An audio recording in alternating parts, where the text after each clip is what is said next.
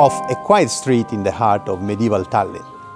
We are about to discover what remains of one of its oldest buildings, the 1246 cloister of the Dominican order. By the time the cloister was built, most of the buildings that you see around it, neither these walls, existed. These were developed over the next couple of centuries after the completion of one of these grandiose buildings, the cloister. Let's go inside.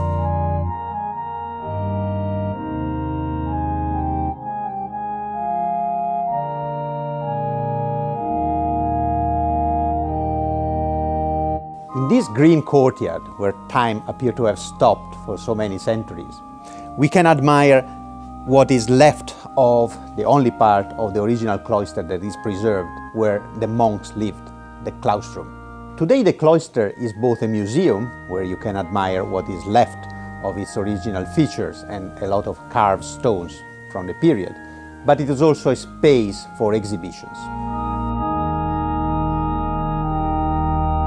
For example here, we can admire a beautifully carved and still bearing original paint part of the door frame of the abbot's house from the St. Michael Monastery of the Cistercians, dating back from the 15th century.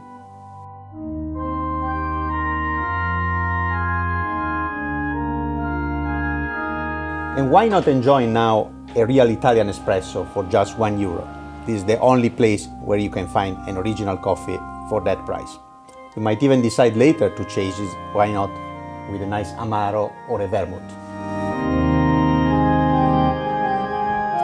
As you are visiting Tallinn, you'll definitely want to walk its historical center.